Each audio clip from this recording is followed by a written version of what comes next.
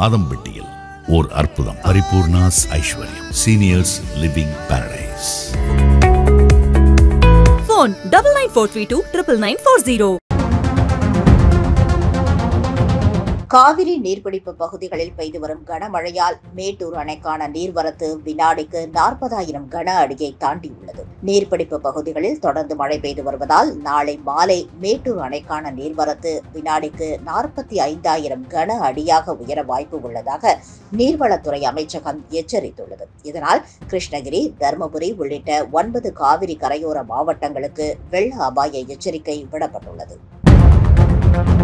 கடந்த புதன்கிழமை பழனி அருள்மிகு தண்டாயுதபாணி கோவிலில் உண்டியல் காணிக்கை என்னும் பணி நடைபெற்ற பொழுது கோவிலில் பணிபுரியும் ஒரு பெண் காலில் ரப்பர் பேண்டை வைத்து பத்து புள்ளி எட்டு கிராம் தங்க நகையை நூதனமாக திருடிய சம்பவம் பரபரப்பை ஏற்படுத்தியுள்ளது. இதை உண்டியல் என்னும் பணியில் இருந்த கல்லூரி மாணவர்கள் பார்த்து அதிகாரிகளுக்கு தகவல் அளித்தனர். இதையடுத்து காவல் நிலையத்தில் அந்த பெண் பணியாளர் பாக்கியலட்சுமி மீது புகார் அளிக்கப்பட்டது. இதன் கீழ் வழக்கு பதிவு செய்த காவல்துறை அவரை கைது செய்து சிறையில் அடைத்தது. இதற்கு இரண்டு மாதங்களுக்கு முன்பு நடந்த காணிக்கை என்னும் பணியின் பொழுதும் திருட்டுக்கள் நடந்திருந்தன.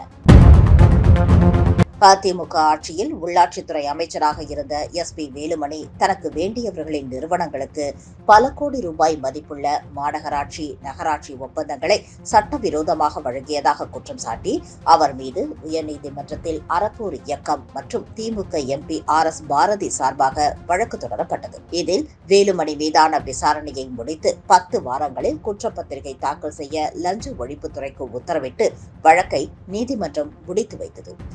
உச்சநீதிமன்றத்தின் இந்த உத்தரவை எதிர்த்து வேலுமணி உச்சநீதிமன்றத்தில் மேல்முறையீடு செய்தார். இது விசாரணைக்கு வந்தபொழுது எஃப்ஐஆரில் உள்ள அனைத்து தகவல்கள் புனையப்பட்டதாக வேலுமணி தரப்பில் வாதிடப்பட்டது.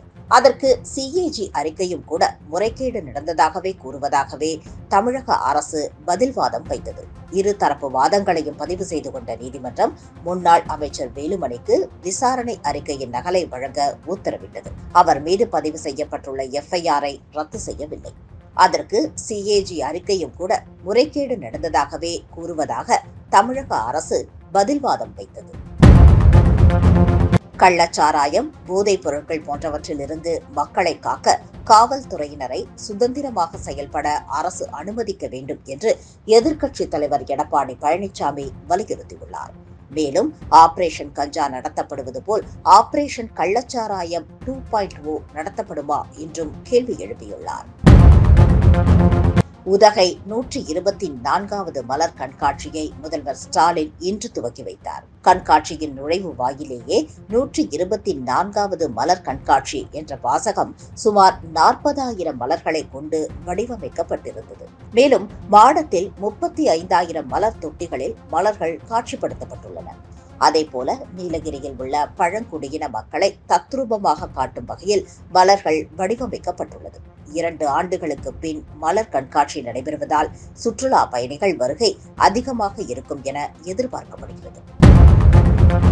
மத்தியில் காங்கிரஸ் தலைமையிலான ஐக்கிய முற்போக்கு கூட்டணி ஆட்சியின் பொழுது ரயில்வே அமைச்சராக இருந்த ராஷ்டிரிய ஜனதா தள தலைவர் லாலு பிரசாத் யாதவ் ரயில்வே பணி நியமனத்தில் ஊழல் செய்ததாக சிபிஐ வழக்கு பதிவு செய்துள்ளது. ரயில்வேயில் பணி வாங்கித் தருவதற்காக நிலங்களை பெற்றதாக குற்றம் சாட்டப்பட்டுள்ளது. இதில் அவருடன் அவரது மகள் நிசா பாரதி மீதும் வழக்கு பதிந்துள்ள சிபிஐ வழக்கு தொடர்பாக நாடு முழுக்க பதினேழு இடங்களில் அதிரடி சோதனையில் ஈடுபட்டது. காங்கிரஸ் ஆட்சியின் பொழுது சீனர்களுக்கு சட்டவிரோதமாக விசா வழங்க லஞ்சம் வாங்கியதாக எழுந்த புகாரில் காங்கிரஸ் எம்பி கார்த்தி சிதம்பரம் மீது வழக்கு பதிந்த சிபிஐ அவருக்கு தொடர்புடைய இடங்களில் சோதனை நடத்தியது. பின் அவருடைய ஆடிட்டரை கைது செய்து டெல்லி அழைத்துச் சென்றது. ஆடிட்டரை சிபிஐ விசாரணையில் எடுத்து விசாரிக்கவும் சிபிஐ சிறப்பு நீதிமன்றம் அனுமதி அளித்தது.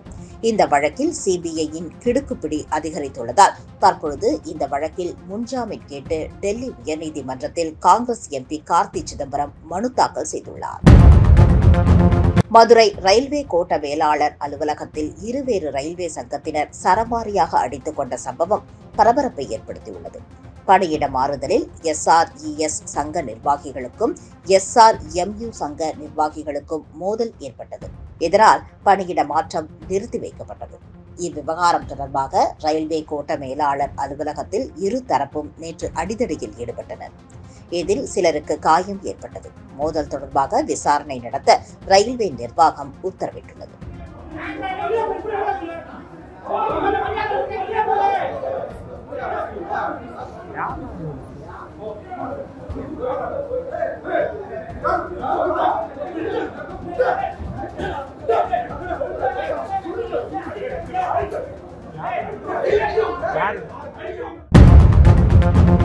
செருப்பை தலையில் தூக்கிக் கொண்டிருந்த சமுதாயத்தை மேயராக்கியவர் முதல்வர் ஸ்டாலின் என திமுக பேச்சாளரும் தமிழ்நாடு பாடநூல் கழக தலைவருமான திண்டுக்கல் லியோனி பேசும் வீடியோ வேகமாக பரவி வருகிறது. திருவள்ளூர் மாவட்டம் பொன்னேரியில் நடந்த திமுக அரசின் சாதனை விளக்க கூட்டத்தில் பேசிய அவர் சட்டையை அல்லையில் வைத்துக் கொண்டு தலையில் செருப்பை சுமந்து கொண்டு சென்ற சமுதாயத்தைச் சேர்ந்தவரை மேயராக்கி வணக்கத்திற்குரிய மேயர் அவர்களே என அழைக்க வைத்தது திராவிட மாடலில் திராவிட புரட்சி செய்யும் முதல்வர் ஸ்டாலின் என புகழ்ந்து தள்ளினார்.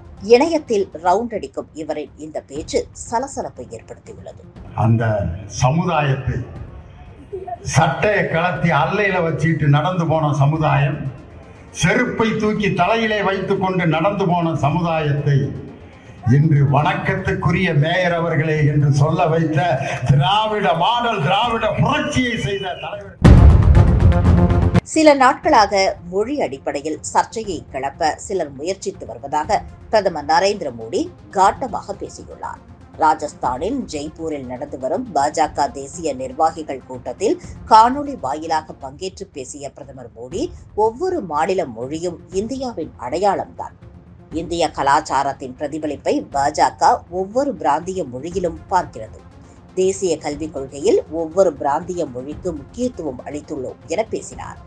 பாஜக தலைவர் ஜே பி நட்டா துறை தலைவர்கள் பொதுச் செயலாளர்கள் மாநில தலைவர்கள் உள்ளிட்டோர் பங்கேற்றுள்ள இந்த கூட்டத்தில் தமிழகத்தில் இருந்து வானதி ஸ்ரீனிவாசன் சி பி ராதாகிருஷ்ணன் தமிழக பாஜக தலைவர் அண்ணாமலை உள்ளிட்டோர் பங்கேற்றுள்ளனர். பேரறிவாளன் விடுதலை தொடர்பாக சாணக்கியாவின் சமூக வலைதளங்களில் எழுப்பிய கேள்விக்கு பனிரெண்டாயிரத்தி தொள்ளாயிரத்தி பதினைந்து பேர் வாக்களித்துள்ளனர். அவர்களுள் நியாயமானது என்று முப்பத்தி ஏழு புள்ளி ஐந்து மூன்று சதவீதம் பேரும் தவறான முன்னுதாரணம் என்று அறுபத்தி இரண்டு புள்ளி நான்கு ஏழு சதவீதம் பேரும் வாக்களித்துள்ளனர்.